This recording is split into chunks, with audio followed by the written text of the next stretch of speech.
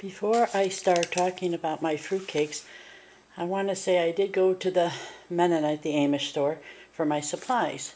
And I want to show you, I got this bag for my soup. This is that uh, lentils, brown rice, split peas, split beans, and you only put a little bit of this in when the soup is cooking. It gives it a wonderful flavor. And this was my dry parsley. I got some more.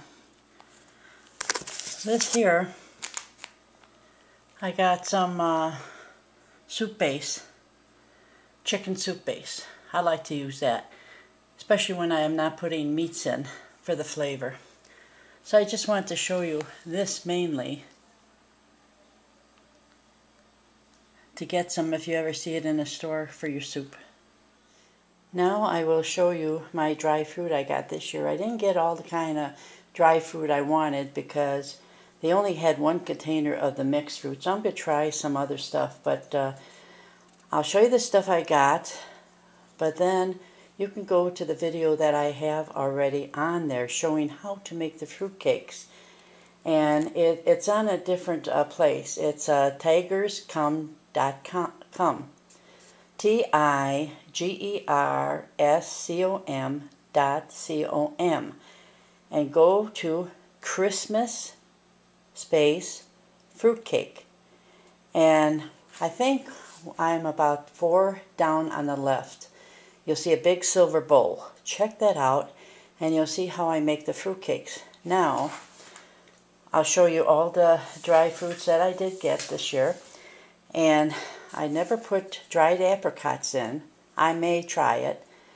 But then there's also um, uh, the orange pieces and the lemon pieces. The orange pieces are like a dollar forty-eight a container, and the lemon is a dollar eighty-eight.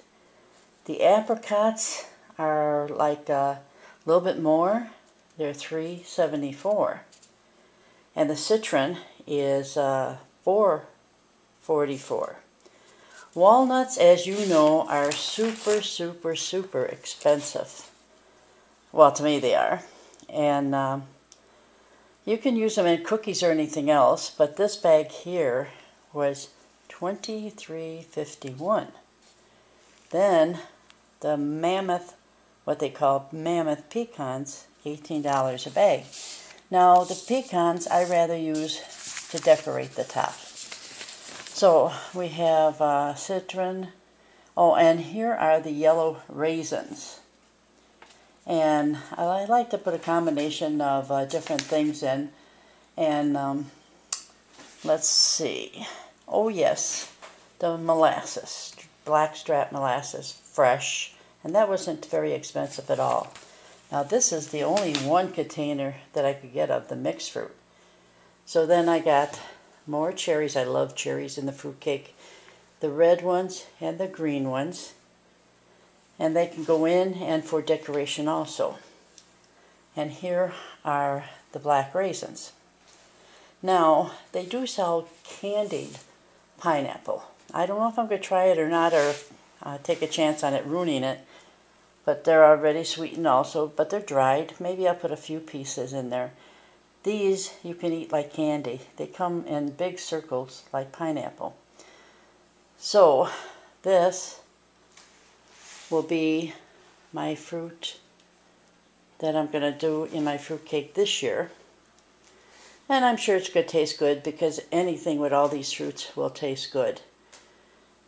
But go to that site that I, I mentioned and you will see how I really do make my fruit cakes go under Christmas space fruitcake and it will be tigers come.